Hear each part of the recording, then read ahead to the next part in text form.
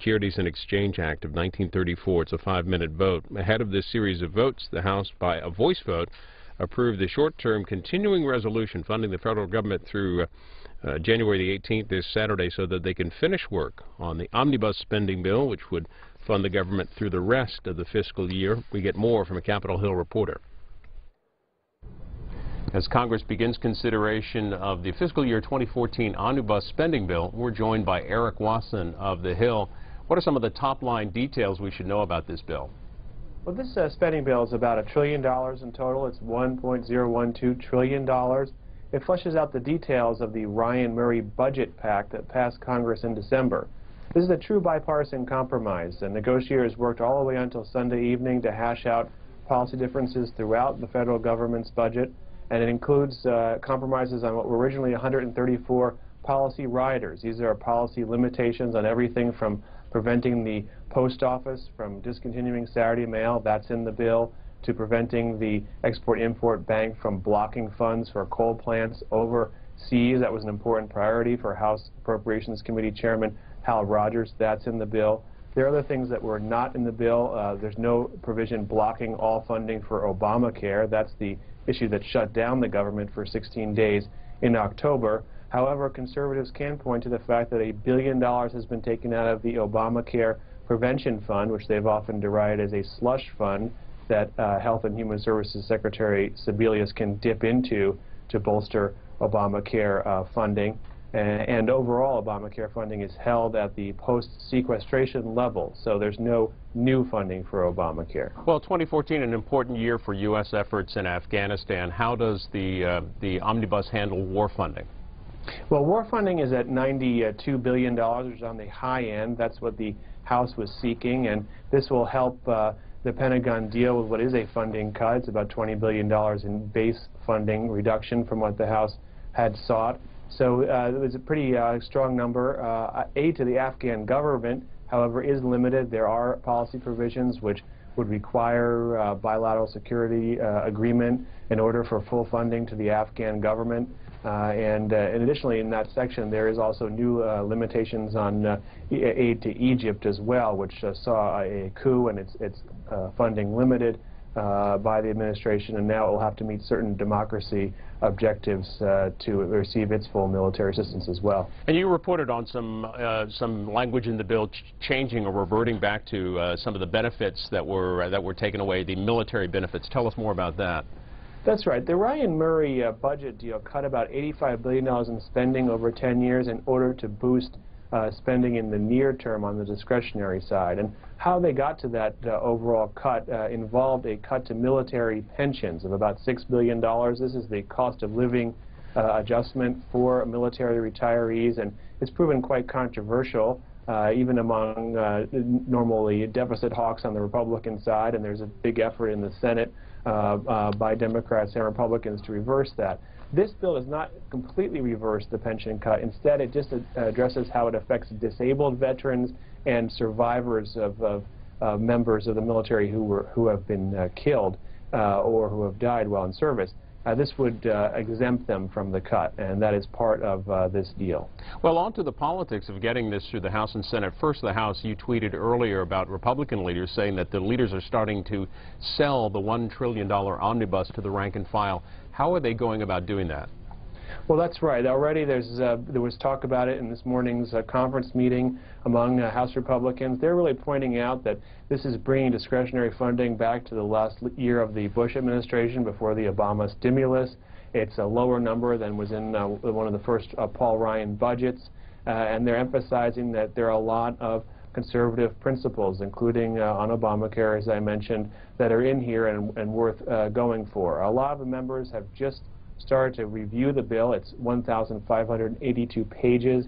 It dropped uh, at 8 p.m. last night, so when I was talking to them, they were still reviewing it, and some of them have very local concerns. You know, Representative Jason Chaffetz, a, a true conservative, but so, someone who also can side with leadership when it makes sense for him, was concerned uh, about uh, a, a, land provision, uh, payment in lieu of taxes that relates to uh, rural communities and payments to, to local government. So people are bringing up uh, individual uh, pieces of the bill that they're worried about and talking to leaders about how that might be addressed, in other legislative vehicles. So there's a, there's a real conversation going on, and there'll be a whip check during today's votes, which uh, uh, start uh, early in the afternoon. Well, on the Democratic side, with the administration, you report supporting the uh, omnibus spending measure. Does that make it easy for House Democrats to go ahead and favor the bill?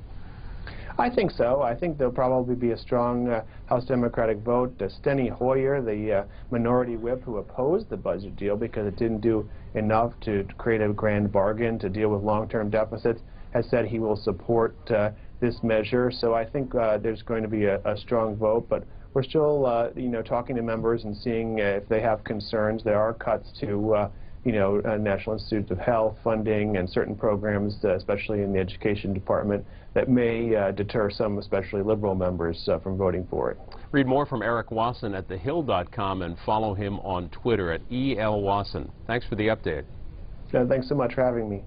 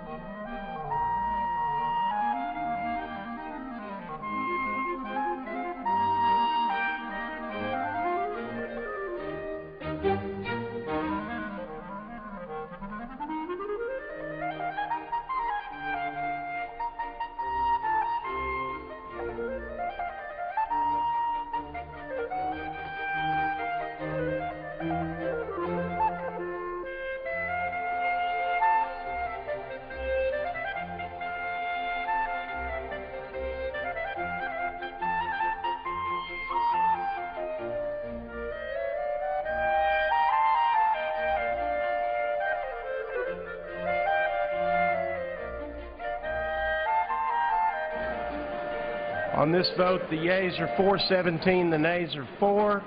Two-thirds two being in the affirmative, the rules are suspended, the bill is passed, and without objection, a motion to reconsider is laid on the table. Pursuant to Clause 8 of Rule 20, the unfinished business is a question on agreeing to the Speaker's approval of the journal on which the yeas and nays were ordered. The question is on agreeing to the Speaker's approval of the journal. Members will record their votes by electronic device. This is a five-minute vote. And it's a, the last in the series the vote on the approval of the journal, the official written record of the previous day's activities. It's a five-minute vote.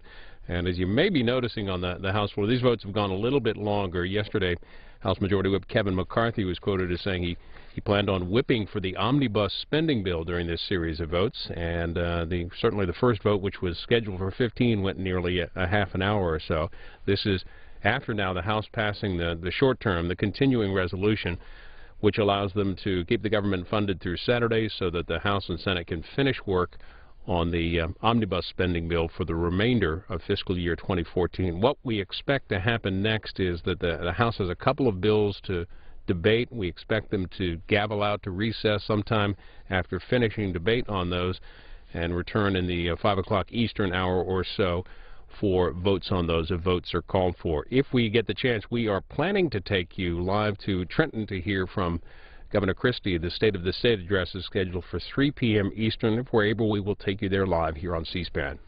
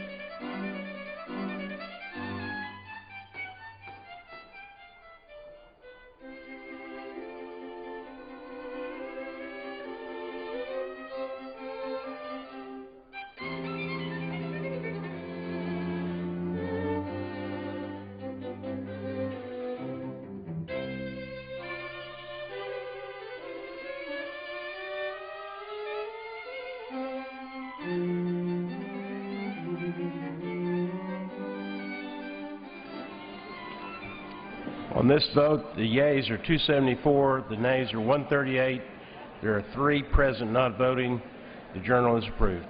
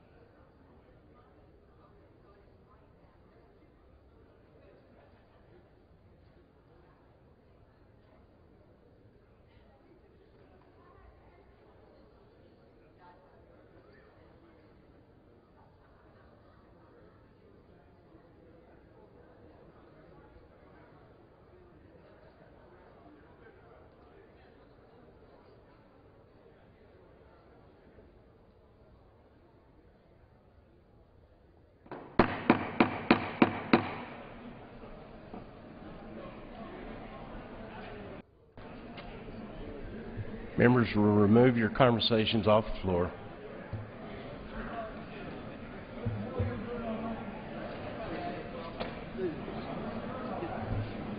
What purpose does the gentleman from Texas seek recognition? Mr. Speaker, I move the House to suspend the rules and pass H.R. 2860. Clerk will report the title of the bill. Union Calendar Number 191, H.R. 2860, a bill to amend Title V United States Code to provide that the Inspector General of the Office of Personnel Management may use amounts in the revolving fund of the office to fund audits, investigations, and oversight activities and for other purposes. Pursuant to the rule, the gentleman from Texas, Mr. Farenthold, and the gentleman from Maryland, Mr. Cummings, will each control 20 minutes. The chair recognizes the gentleman from Texas. Thank you, Mr. Speaker, and I yield myself as much time as I may consume. Without objection. I'd also like to ask for unanimous consent that all members may have five legislative days in which to revise and extend their remarks and exclude extraneous material on the bill under consideration. Without objection, so ordered. Thank you very much. Mr. Speaker, H.R. 2860 responds to the Office of Personnel Management Inspector General's call for increased oversight of the OPM's revolving fund by providing the IG access to a portion of that revolving fund money for oversight. H.R. 2860 recognizes oversight as a legitimate business cost by using existing funds to help the IG respond to the increased referrals of alleged fraud within the OPM's revolving fund operation, including especially in the background investigation used to determine an individual's eligibility for a security clearance. The Office of Personnel Management serves as the regulator for these rules affecting the management of federal workers, but has also evolved into a fee-based service provider that provides billions of dollars in service each year to the very agencies governed by OPM's rules. The revolving funds budget Speaker. has grown significantly over the past 15 Speaker. years from $191 million The House is in not fif- in order. Gentleman's correct. The House is not in order. Thank you, Mr. Speaker. Gentleman will proceed. The revolving funds budget has grown significantly over the past 15 years, as I was saying, from $191 million to more than $2 billion today. OPM's revolving fund budget is almost 91% of the OPM's uh, budget. Yet the resources available for the IG to audit these funds have not kept pace with the growing amounts. For over 30 years, both the General Accountability Office and OPM Inspector Generals uh, ha- have been concerned about the management of resources in the revolving fund. Each has issued a number of reports and audits examining various uh, and often recurring problems. Last year, OPM Inspector General McFarland informed the Committee on Government Oversight and Reform of what he described as serious problems uh, inhibiting his ability to perform the duties and responsibilities of his office. McFarland stated his office was at a point where it could not meet its statutory obligation to effectively effectively oversee revolving fund activities. He noted that his office has been inundated with requests from OPM to audit and or investigate different parts of revolving fund programs. From technical audit work to the continuing flow of allegations involving falsifications of background investigations and abuse of authority. The OPM Inspector General has investigated a number of case, uh, a number of cases involving the falsification of background investigations, including reporting of investigations that never occurred, recording answers to questions that were never asked, and document records uh, checks that were never conducted. Within the military departments at 81 percent of OPM's customer bases, these uh, cases have serious national security implications. Inspector General McFarland testified before the Federal Workforce Subcommittee in June, and he said the OPM's revolving fund programs have been operating in the shadows for too long, adding the oft-cited uh, phrase, sunshine is the best disinfectant. H.R. 2860 would allow the OPMIG to use a portion of the revolving, money, uh, revolving funds money to pay for related audit investigation work.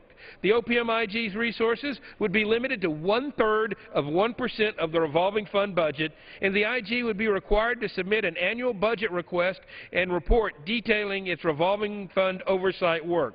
H.R. 2860 provides resources for critical oversight that can be accomplished at relatively low cost using existing funds.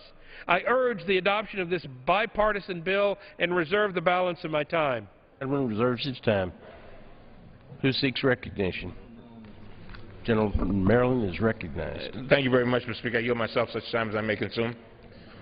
Gentleman is Uh, recognized. Mr. Speaker, I rise in strong support of H.R. 2860, the OPM-IG Act, which is a successful product of the bipartisan efforts of Federal Workforce Subcommittee Chairman Farenthold and Ranking Member Lynch, and I applaud them for their efforts. I thank my distinguished colleagues for their work and commitment in sponsoring legislation to provide the Inspector General of the Office of Personnel Management with critically needed funding to perform audits, investigations, and oversight of OPM's revolving fund activities. Through the revolving fund, OPM provides approximately $2 billion in services to agencies on a fee-for-service basis.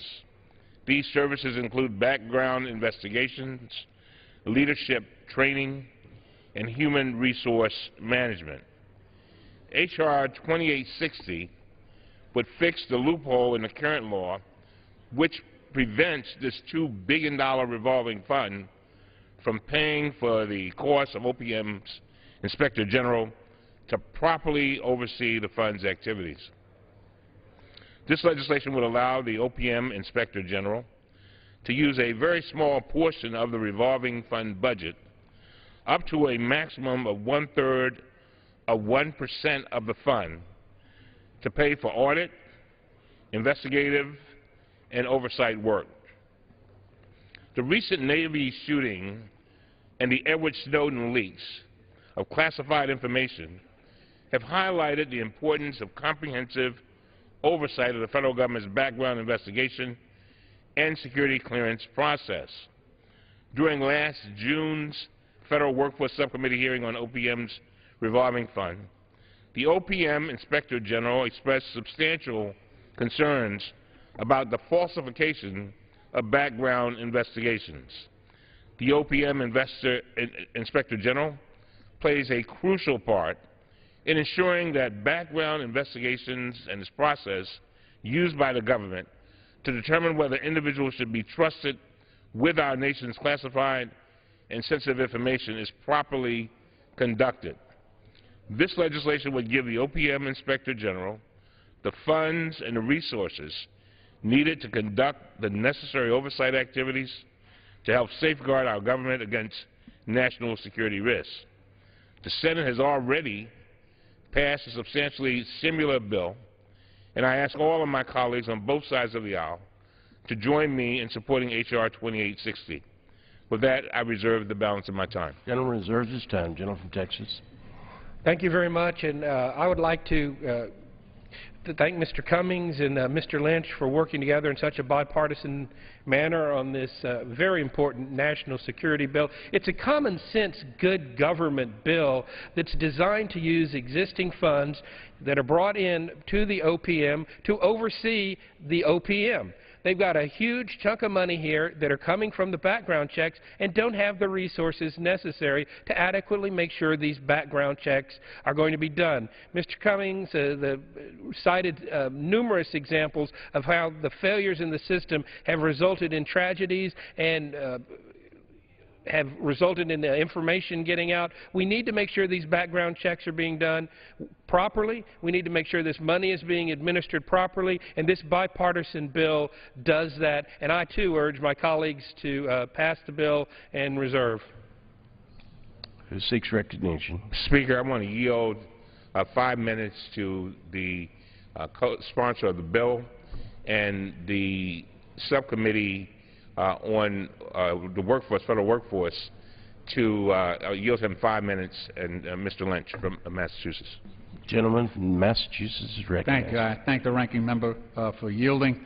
And uh, first of all, I want, I want to say that uh, as the ranking Democrat on the subcommittee on federal workforce, I rise in strong support of, of Mr. Farenthold's measure here, H.R. 2860, the OPM Inspector General Act. Uh, legislation that will enhance oversight of the background check process for the issuance of government security clearances.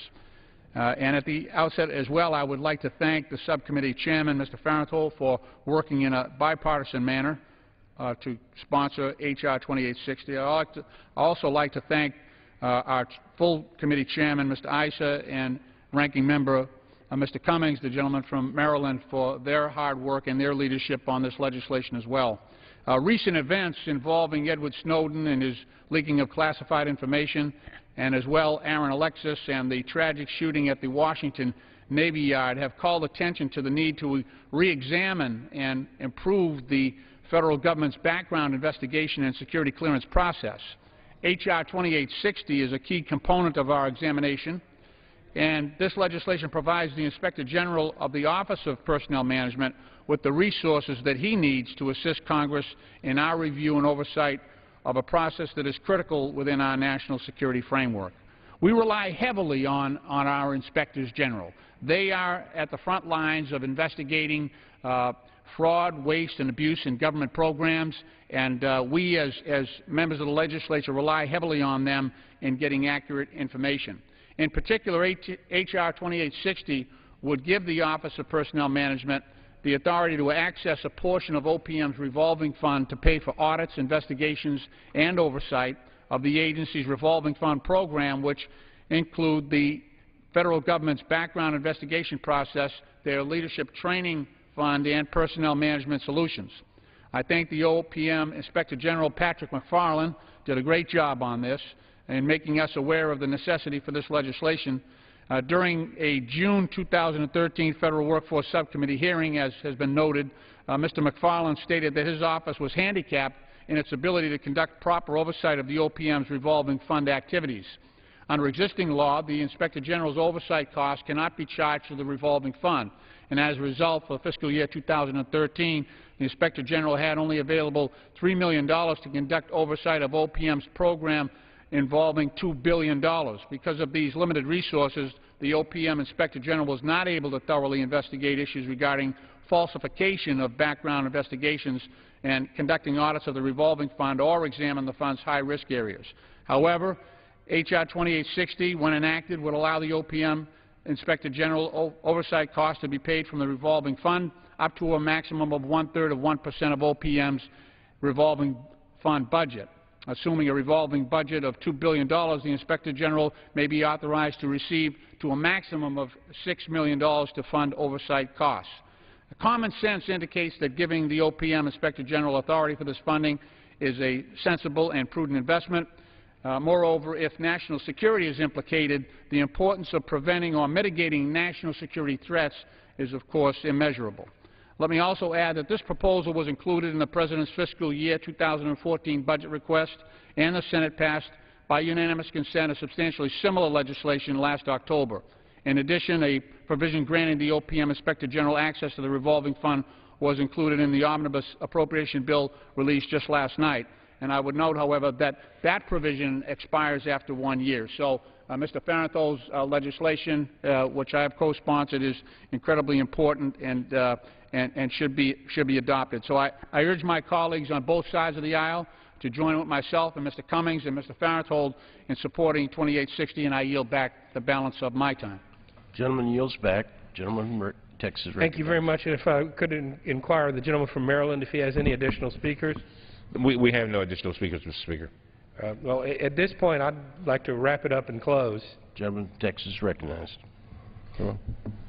Thank you very much. Um, again, as, as the gentleman from Virginia and the gentleman from Maryland have pointed out, this is common sense, a good government bill that has, uh, has strong national security uh, implications. Um, and I, I'm, I'm going to urge to uh, I'm going to urge all my colleagues to support it. Uh, again, even though it was uh, included in, uh, in the omnibus that's coming through, that's one year. This creates permanent law where we continue to do this necessary and appropriate uh, oversight at a fraction of a percent uh, of the cost of the budget. Uh, absolutely a, uh, a, a phenomenal bill that uh, we, we all need to get behind and support. Gentleman yields back his time. I just, Gentleman I yield myself recognized. such times I may consume as I close. Um, Mr. Speaker, I, I take this moment to um, thank Mr. Farenthold, to thank Mr. Lynch, and certainly our chairman, Chairman Issa, for this bipartisan effort. It is, it just makes sense. Um, there are certain things that happen uh, that we see in government that need correcting, um, and this is one of those things. And the fact that we have now put a spotlight on it and through a bipartisan effort have put together uh, a legislation that should pass this House unanimously, um, it just shows what can be done.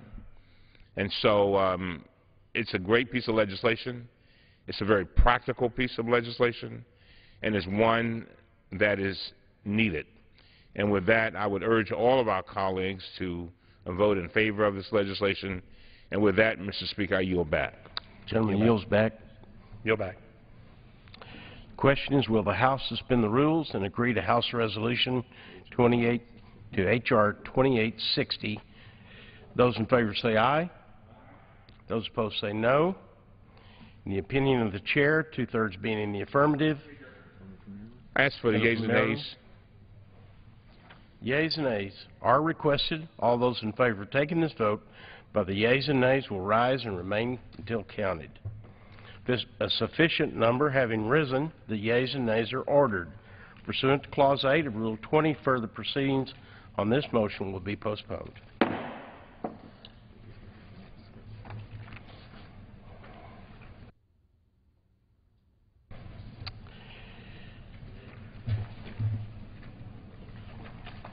What purpose the gentleman from Texas seek to be recognized? Mr. Speaker, I move the House to suspend the rules and pass H.R. 1233 as amended. Clerk will report the title of the bill. H.R. 1233, a bill to amend Chapter 22 of Title 44 of the United States Code, popularly known as the Presidential Records Act, to establish procedures for the consideration of claims as constitutionality-based privilege against disclosure of presidential records and for other purposes. Pursuant to the rule, the gentleman from Texas, Mr. Farenthold, and the gentleman from Maryland, Mr. Cummings, will each control 20 minutes. The chair recognizes the gentleman from Texas. Thank you, Mr. Speaker, and I yield myself as much time as I may consume. Gentleman's recognized. Thank you very much, Mr. Speaker. I also ask unanimous consent that all members may have five legislative days with which to revise and extend their remarks and include extraneous material in the bill under consideration. Objection, so ordered. Thank you. Uh, Mr. Speaker, H.R. 1233 would codify the existing executive order that requires former presidents to appeal to incumbent presidents to keep certain presidential documents privileged under the Presidential Records Act. This bill would lock into statute a process established by President Ronald Reagan in 1989 and restored by President Obama in 2009 and used without controversy by four of the last five presidents. The bill would ensure greater transparency for the privilege extension request by former presidents and help prevent abuses of the system. The bill does not expand the limits of executive privilege nor would it give former presidents custodial rights over their administration's presidential records. Let me say that again to make perfectly clear, Mr. Speaker. The bill does not expand the limits of the executive privilege, nor does it give former presidents custodial rights over their administration's president presidential records.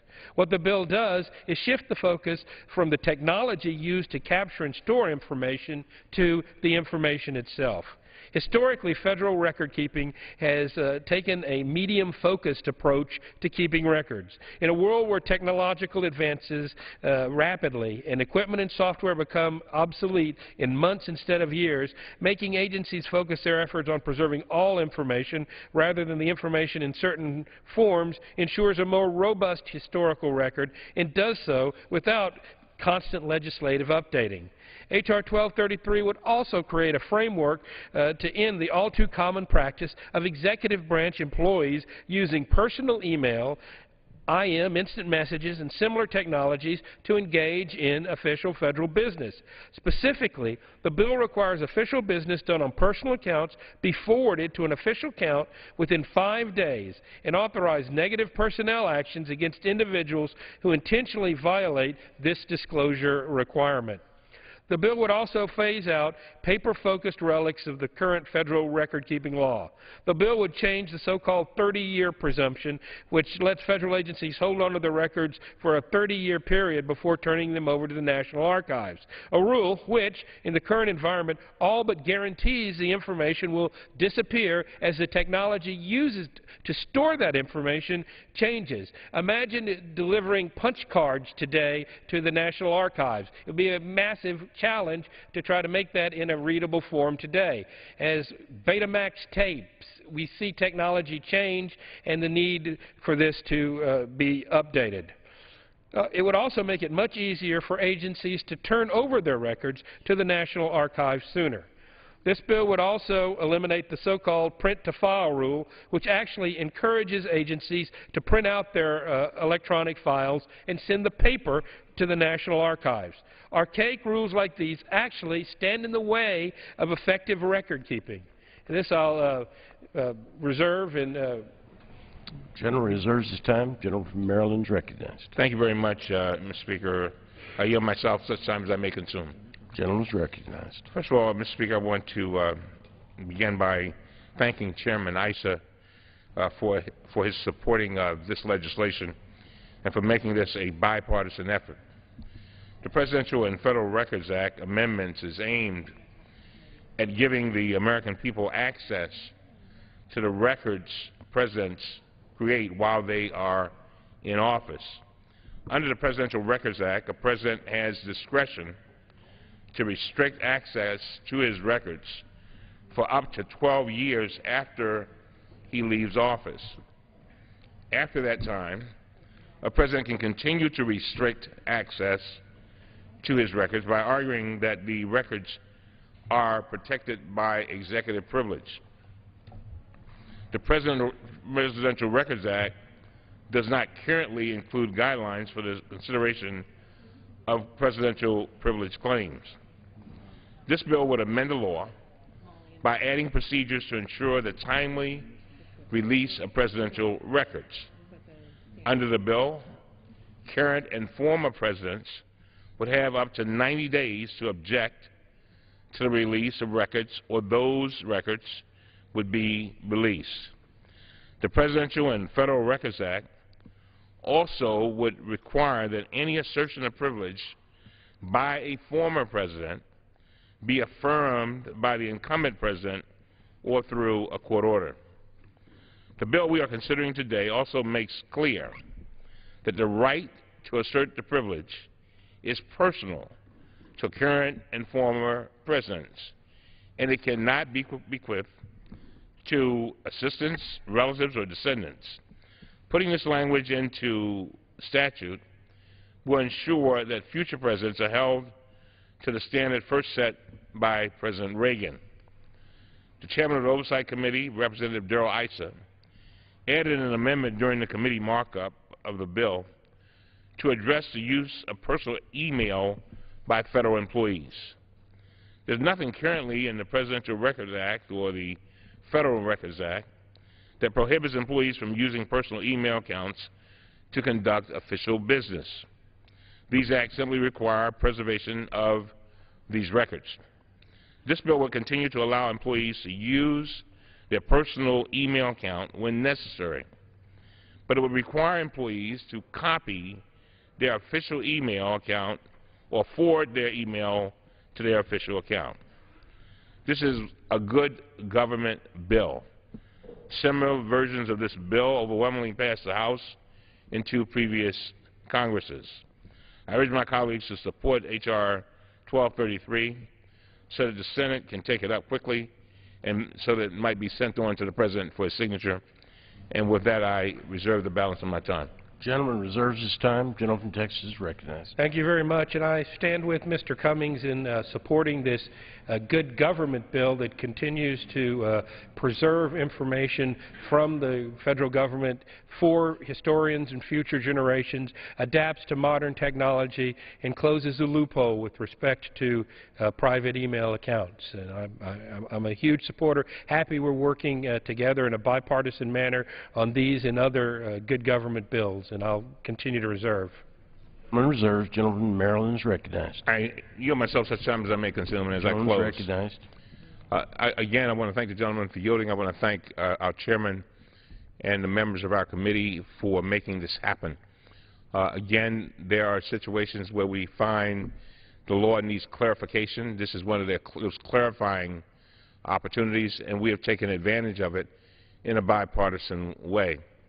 And again, I would urge all of our members to vote in favor of this legislation. And with that, I yield back. Gentleman yields his time. Gentleman from Texas recognized. Thank you very much, Mr. Speaker. And I, uh, I join the gentleman from Maryland in urging uh, my colleagues to support H.R. 1233 and yield back the remainder of my time. Gentleman yields his time. The question is, will the House suspend the rules and pass H.R. 1233? Those as amended. Those in favor say aye. Those opposed say no. In the opinion of the chair, two-thirds being in the... I'd like to Gentleman request the yeas and nays. Yeas and nays are requested. All those in favor of taking this vote by the yeas and nays will rise and remain standing until counted. A sufficient number has risen. The yeas and nays are ordered pursuant to Clause 8 of Rule 20. Further proceedings on this motion will be postponed.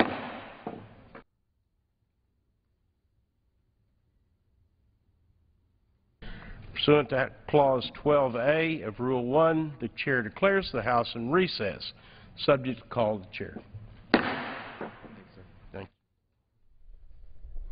We expect the House to gavel back in sometime in the 5 o'clock Eastern hour. We'll have live coverage, of course. Earlier today, by a voice vote, they approved a short-term continuing resolution to keep the government funded for three days past tomorrow's deadline in order that the House and Senate can work out uh, differences and finish up work on the year-long uh, omnibus spending bill through the end of the fiscal year anyway.